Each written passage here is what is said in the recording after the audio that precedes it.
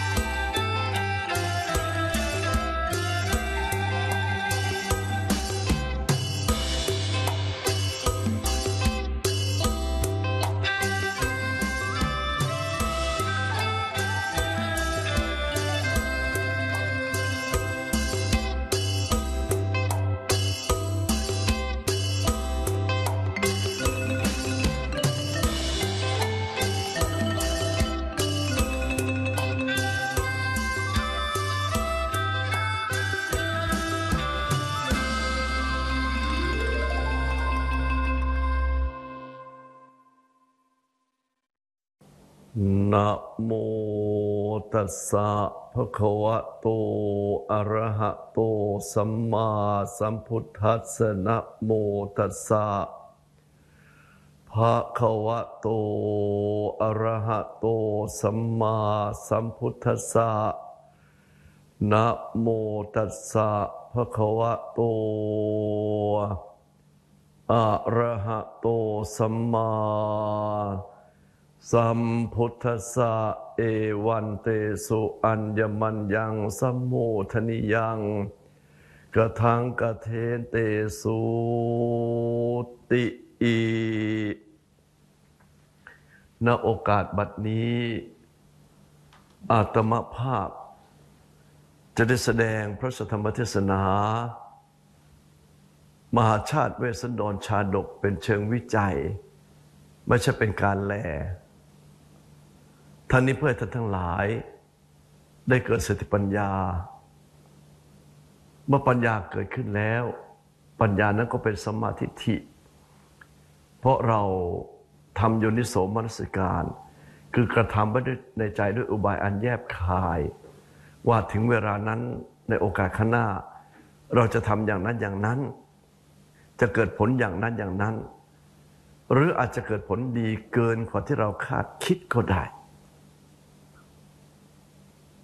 การฟังจึงมีความสำคัญ แต่ฟังแล้วก็ต้องคิดอ่านแล้วก็ต้องคิด พระพุทธเจ้าสอนให้คิด ถ้าคนปราศจากความคิดที่เป็นความคิดปรุงแต่งประดิษฐ์ประดอย ที่ปัจจุบันเขาเรียก create มันก็เหมือนเหมือนกัน ไม่ได้คิดแต่คิดจะทำแต่ไม่ได้คิด เอาแบบเดิมๆ คนคิดแบบเดิน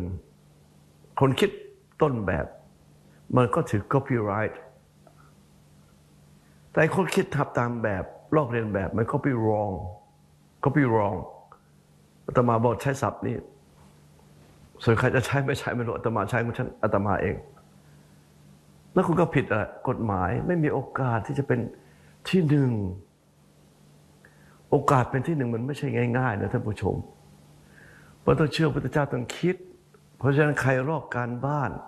ใครรอกงานฝีมือ ใครเขายืมเขาไปใช้ไม่ได้คิดไม่ได้ถ้าต้องคิดดูสิ เอาง่ายๆ หน้าบันวัดแต่ละวัดละวัดละวัดถ้าวัดหน้าบันวัดโพวัดพระเจตุพนกับสุทัศน์มันเหมือนกันไหมไม่เหมือน ทำไมจึงไม่เหมือน นั่นแหละสิทำไมจึงไม่เหมือน ถ้าเหมือนกันเราก็ไม่ต้องดู เวลาเราไปวัดเนี่ยเราไม่ค่อยดูหน้าบานแต่มันสูงขี้เกียจแงนคออาตมาบอก มองฟ้าวะสิอย่าบทเทศธรรมดาไม่ได้ไงต้องออก acting เหรอมันไม่ใช่คนเราคุยกันเนี่ยเทศแบบคุยกัน มองฟ้าซะบ้าง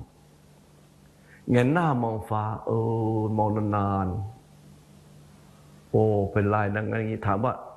โยมที่ดูโทรทัศน์เนี่ยมาเทศมาวัดสุทัศน์เนี่ย มองหน้าบานถึงที่สุดของวัดนะ เข้ามาในเขตวัดนะ นั่งรถมาเนี่ยแวบแล้วไปแล้วจะทำให้มันสวยงามทำไม เสียเงินฟรีๆเสียเสียงตาย ท่านไปวัดอะไรวัดพระแก้วกันแล้วกัน วัดพระศรีรัตนวัดพระศรีรัตนศาสดารามเนี่ยท่านมุ่งไปไหว้วัดพระศรีรัตนศาสดารามท่านเคยดูหน้าบันไหมเคยดูสีกระเบื้องไหมแล้วถ้านนั่งดูภาพมุมสูงเนี่ยท่านเคยหยุดลงมาสต็อปไหมแล้วถามว่าทำไมถึงใช้กระเบื้องสีนี้ เอ๊ะหลังคาวัดสุทัศน์ พระวิหารทำไมใช้กระเบื้องสีนี้ หลังคาพระโบสถทำไมสีนี้ หลังคากุฏิสงฆ์หรือกุฏิสงฆ์ ทำไมจะใช้สีเดียว ท่านไปวัดต่าง ๆ ท่านดูบ้างหรือเปล่า แล้วมันมองผ่านผ่านผัดผาดนี่คนธรรมดามองแบบพันผ่านผัดผาดแต่ผู้ฉลาดและนักปราชญ์มองพิษพิษพิษแรกคือเพ่งพิษหรือเพ่งพินิษ พิษที่สองพอสระอิจอจะพอสระอิจอแล้วก็ลากไป พิจารณาและจะเป็นคำถามว่า เพราะอะไร แล้วก็ต่อมาก็คือเริ่มใช้กระบวนการที่สามของพระพุทธเจ้า คือปุจฉาถ้าเราไม่รู้ถามและแต่ละวัดนั้นไม่ใช่ปั้นธรรมดาบางทีมันเกี่ยวข้องกับสถาบันพระมหากษัตริย์ เกี่ยวข้องกับบ้านเมือง เกี่ยวข้องกับพระศาสนา แล้ววัดบางทีวัดนี้ไปต่อวัดโน้น อย่างเช่น พระพุทธเจ้า 28 พระองค์ เฉพาะสุทัศน์นะฮะมีพุทธเจ้า 28 พระองค์ จิตรกรรม ประวัติพุทธเจ้า 27 พระองค์อยู่ในพระวิหารขาดไปว่าขาดไปองค์แล้วแล้วพระพุทธเจ้าปัจจุบันเป็นองค์ที่ 28 อยู่ที่ไหนอะอยู่ในพระโบสถเขานี่มาหือมาแล้วท่าน 28 องค์ก็ต้องแบ่งแบ่งกันอยู่แล้ว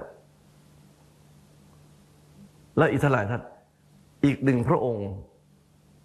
แล้วนะรัชกาลที่สามรับสั่งให้เขียนตามแล้วตามรจนาของสมเด็จพระมหาสมณเจ้า กรมพระปรมานุชิชิโนรส ให้งามเหมือนตัวอักษร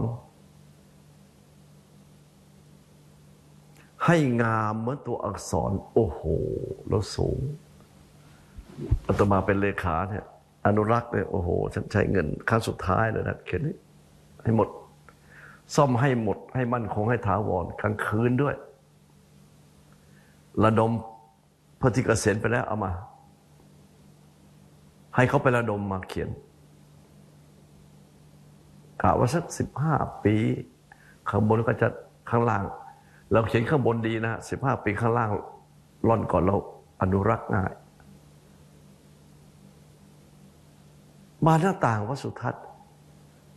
บาประตูวัดสุทัศน์ท่านเคยมองเขาบอกรัชกาลที่สามสร้างเอาไว้รัชกาลที่สองทรงออกแบบและทรงลงอะไร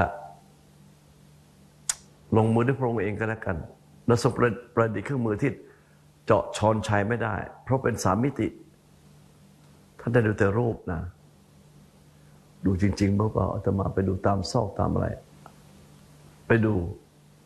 หลังบานหน้าต่างท่านดูบ้างไหมอยากจะบอกว่าพระขอขอดูหลังบานหน้าต่างหน่อยขอปิดบานหน้าต่างให้หมดก่อน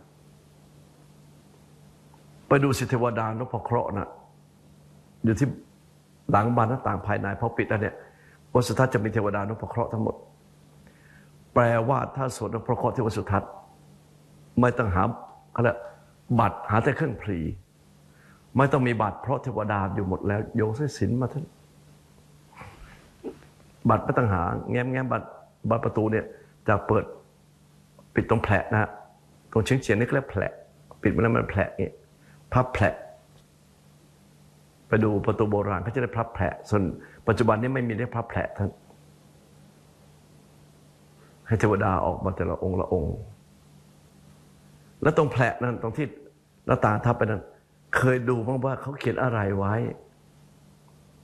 ทำไมต้องทำไมทำไมทำไม รู้สึกไม่คนเป็นธรรมะเท่าไหร่ยังพอท่านไม่อิ่ม ท่านพูดธรรมะไม่อิ่มเดี๋ยวอิ่มก็อ่านเอาเองสิ แต่นี่มันก็เป็นการแนะนำแล้วประวัติอยู่ที่นี่ แล้วองค์พระอยู่ที่ไหนยี่สิบแปดพระองค์อยู่ที่วัดสุทัศน์เอาองค์พระก็ต้องไปวัดโนนสิท่านวัดอับสรสวรรค์ ถ้าไปไหว้เธอท่านวัดอับสสวรรค์ ได้ไหว้พุทธเจ้ายี่สิบแปดพระองค์มันต้องไปที่ฐานอะไรท่าน แล้วประวัติอยู่ที่ไหนนะเอาอยู่ในพุทธวงศ์อะถ้าไปอ่านคัมภีร์พุทธวงศ์แปลว่าวงของพุทธเจ้า แต่ละองค์แต่ละพระองค์พระองค์พระองค์พระองค์หรือไปที่ธรรมสภาไปดูหนังสือสิรู้สึกอาจารย์บรรจบบรรลุจิตจะเขียนเอาไว้ หรือ รู้สึกว่า อะไรนะ แต่หาไม่ได้แล้วล่ะหลวงพ่อเจ้าคุณธรรมสิริชัยวัดพระปฐมเจดีย์เขียนเอาไว้เอ้ยแปลเอาไว้ด้วย แล้วก็วัจนาวา พระพรหมโมรี วิราช แปลเอาไว้ เขียนเอาไว้ เป็นเชิงพรรณนา ให้เรารู้สิท่าน ไม่ใช่เราไม่รู้เลย ไปไหว้ เพราะฉะนั้นเวลาที่เราดูอะไรเนี่ยคิด เมื่อดูฟังคิดถาม สุดท้ายจารึกบันทึกไปไหม มีการจารึกบันทึกไปไหม ที่ท่านค้นใน Google ท่านค้นได้เพราะเขาจารึกบันทึกให้ท่าน มื่อเขาจารึกบันทึกให้พวกเราได้อ่านได้เห็นภาพ เราก็ทำตามบางสิพอเรายิงขึ้น Google เนี่ยขึ้น YouTube เนี่ยเราไปดูสิท่านไปดูแต่ละที่เราที่เขาบันทึกให้เรา แล้วเราก็ต้องบันทึกไว้ แล้วเราก็มาเรียบเรียงเสีย และโทรศัพท์ทุกคนมีสิทธิ์ที่ทำได้ที่จะทำได้อาตมาก็ให้พระครูปรัตสวัฒนดิลกคุณไปเป็นแรงเว็บไซต์วัดเสาชิงช้า เว็บไซต์วัดเสาเชิงช้านะ ท่านอยากจะค้นเรื่องอาตมาก็นะ www วัดเสาชิงช้าท่านก็จะเห็นหมดเยอะแยะไปหมด ถามว่าทำไมทำอ้าวก็บันทึกเอาไว้ ต่อไปเมื่อใครอยากจะค้นอยากจะรู้เขาจะได้รู้ได้เห็น แล้วบางอย่างอา อะไรฮะวรรณกรรมก็ไม่มีใครเขียนแล้วกรอนไม่มีใครเขียนแต่มาก็ลงกรอนไปครับลงลงเอาเอากรอนลงไป เพื่อกระตุ้นพระให้เขียนกรอนกันบ้าง สมัยก่อนพระท่านเขียนโครงชั้นกาบกรอนเนี่ยเก่งมาก เดี๋ยวนี้หาสักองค์เหรอพุทธทาสเนี่ยท่านมีท่านมีครูเผยแพร่ของท่านอีกรูปหนึ่งเนี่ยภาษาอังกฤษเก่งมาก อาตมาไปเทศงานศพท่าน พอเปิดมา โอ้โห ท่านแปลพุทธพจน์เป็นภาษาพุทธพจน์นะเป็นภาษาอังกฤษเนี่ยปวดหัวแล้วท่านพระอยู่ต่างจังหวัดสมัยก่อนแล้วหลวงพ่อพุทธทาสไม่เก่งพุทธทาสจะเก่งภาษาอังกฤษนะ ท่านจึงอ่านหนังสือภาษาอังกฤษ ท่านจึงแปลได้ ท่านเตรียมพร้อม ซ้อมที่จะเป็นคนดังระดับโลก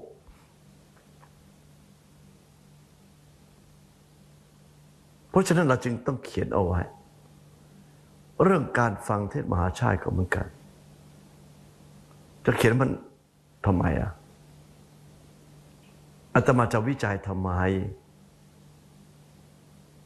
ก็เห็นฟังกันมาตั้งเยอะแยะแล้วเออจะฟังเอาบุญเอาบุญ ไม่เอาปัญญาบ้างเหรอ ไม่เอากุศลบ้างเหรอเออเป็นบุญที่ได้ฟังนะ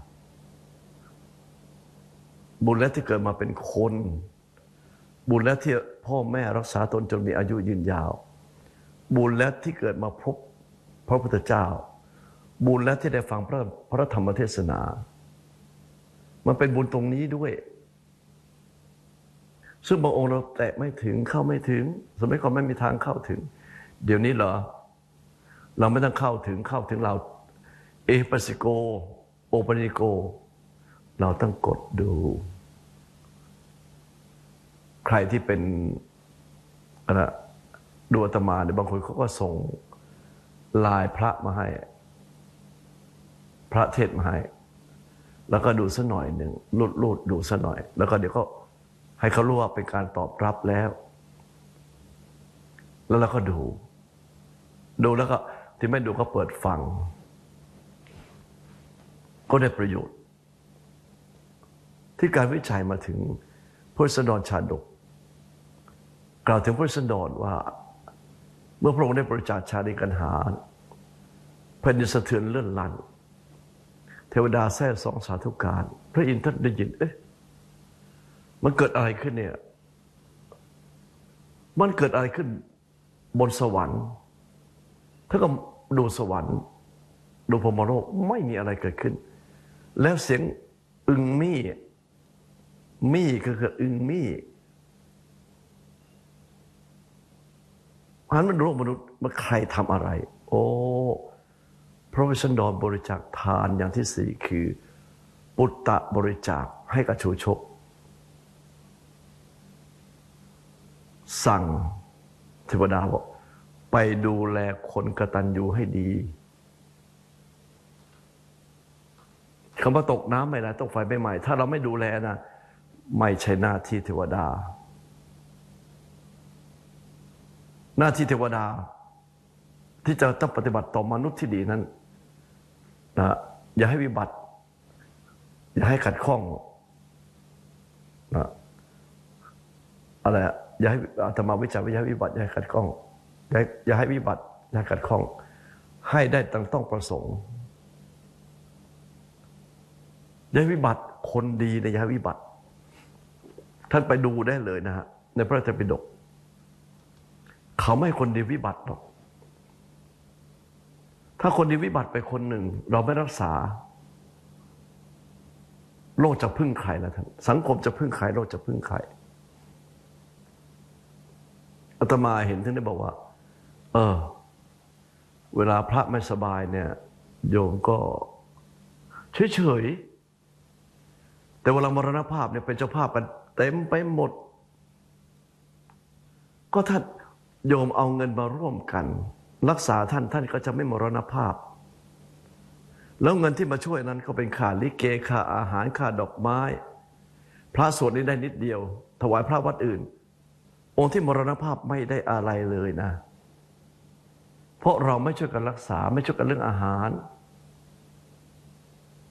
พระเจ็บป่วยในสมภารแต่ละวัดเจ็บป่วยนะโยมจำไว้นะต้องไปดูรวมเงินกัน หลวงพ่อไม่ได้ใช้เงินแต่ลูกศิษย์เขาใช้เงินค่ารถค่าบริการอะไรต่ออะไรต่าง ๆ ดีเราก็ต้องเอาไว้สิท่าน ไปเลี้ยงดูคนไม่ดี ลูกติดยาติดยาเสพติดติดงอมแงม ขายยาบ้ายาเสพติด ติดคุกสุกตาราง เอาเงินไปทุ่มเทให้มัน เราเหลืออะไร เด็กดีๆแถวๆบ้านเราเนี่ย มีเงินเรียนหนังสือไหมไอ้ที่จนเขาปล่อยมันจนอยู่งั้นบางหมู่บ้านนะปล่อยมันจนอยู่งั้นแหละทำไมปล่อยให้มันคนจนอะแล้วไม่สนใจสองมึงจนแสดงว่ากูรวย รวยแล้วได้อะไรอะแต่ลูกตัวเองก็ไม่ดี มันต้องช่วยกันคนสองคน มีที่ดินมีฐานะเสมอกัน คนหนึ่งนะสร้างวัด คนหนึ่งสร้างโรงเรียน อาตมาถามหน่อย ระหว่างสร้างวัดกับโรงเรียนเนี่ยปัจจุบันนี้นะฮะท่านควรจะสร้างอะไรมากกว่ากัน ระหว่างซ่อมวัดบางวัดกับซ่อมโรงเรียน ท่านควรจะทำอะไรมากกว่ากัน ระหว่างการช่วยเหลือวัดที่พระสงฆ์จำนวนน้อย กับการช่วยเหลือโรงเรียน ในอุปกรณ์การศึกษา ในการจ้างครูมาสอน ท่านจะช่วยเหลืออะไรมากกว่ากัน มันอยู่ที่ปัญญาท่านนะท่านทำหน้าที่เทวดาหรือเปล่า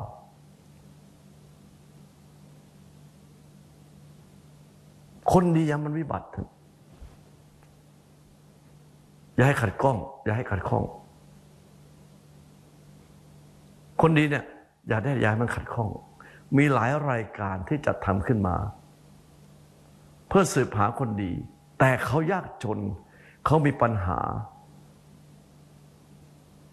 มีหลายช่องเขาทำบางทีก็เป็นช่องข่าว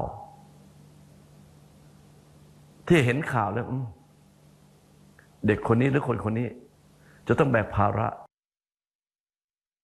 เขาไม่ให้วิบัติไม่ขัดข้อง เข้าไปช่วยแล้วโยมก็บริจาคกกันไป แล้วไม่ต้องไปสงสัยเราเขามีองค์กร ไอ้เรียอะไรยมาถึงหน้าบ้านเนี่ยน่ากลัว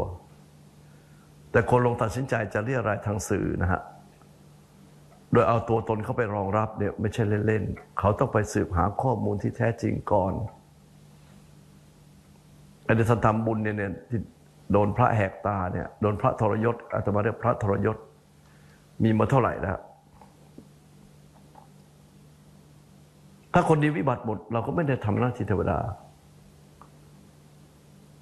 อย่าคนดีวิบัติอย่าคนดีขัดข้อง อย่าให้คนดีต้องมีกังวลแต่มันมีสี่ข้อ คนดีอย่ากังวลล่วงหน้าว่าอย่าให้เขากลัวว่า พรุ่งนี้ก็จะทำอะไรเขาจะทำยังไงกับชีวิตของเขาเนี่ยเขาจะทำอย่างไรเอาก่อนออกรายการนี้ก่อนออกรายการนี้พอโรงเรียนวัสุทัศน์เนี่ย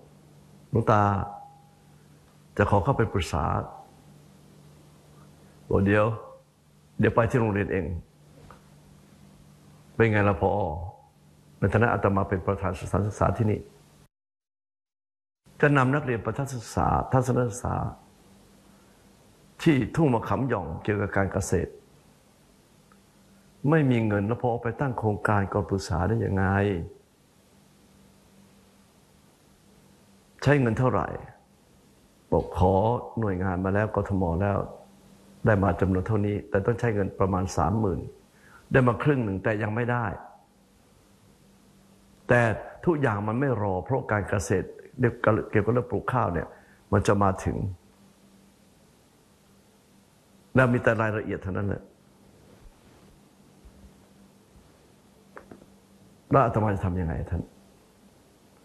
ก็เด็กต้องเป็นร้อย อาหารการกินน้ำค่าเข้าชมค่าวิทยากร เขาคิดหมดเลยนะ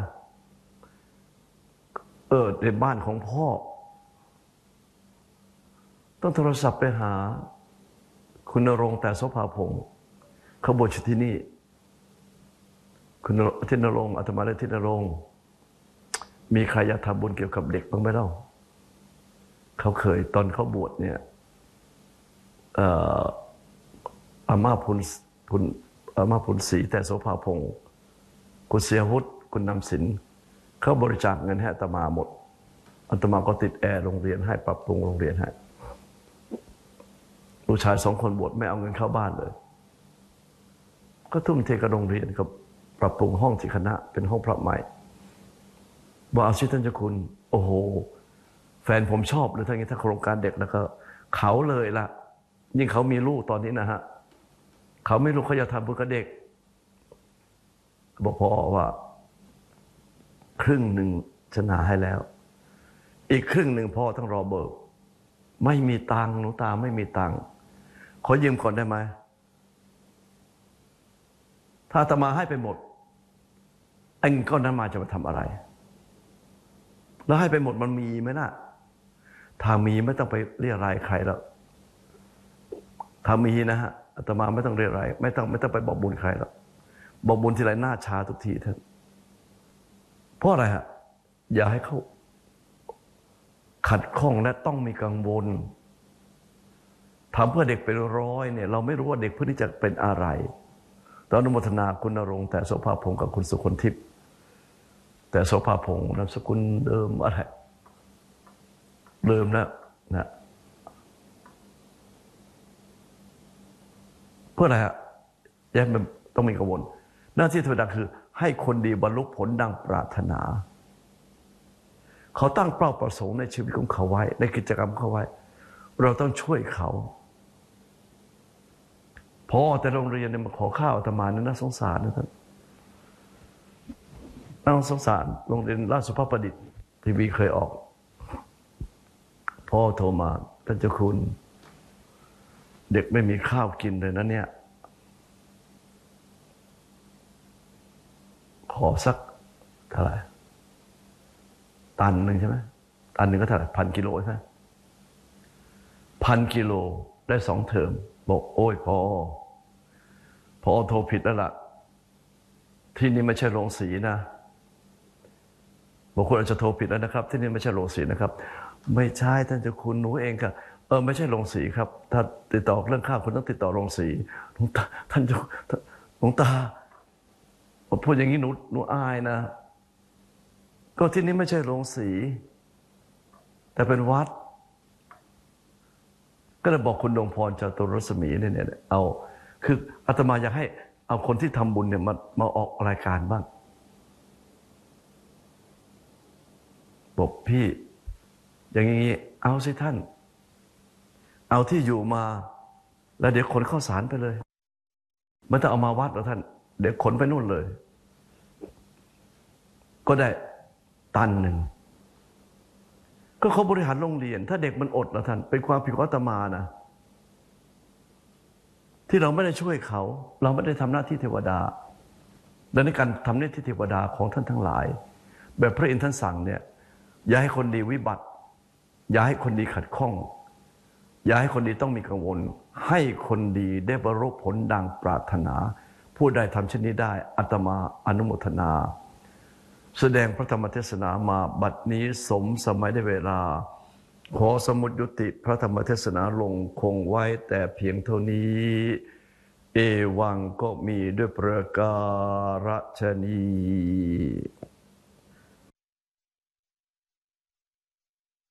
คุณผู้ชมคะ การที่พระเวสสันดร พระราชทานกันหาชาลีแก่ชูชก ก็ดูเป็นการเห็นแก่ตัวที่ตัดสินยกชีวิตของผู้อื่น ให้แก่ผู้รับที่ไม่เหมาะสมนะคะ แต่หากเราฟังเรื่องราวทั้งหมดแล้ว คิดตาม เพ่งพินิษพิจารณาอย่างถี่ถ้วน เราก็จะเข้าใจว่านี่คือการบริจาคทานที่กระทำได้ยากและเป็นการยิ่งใหญ่มากๆค่ะ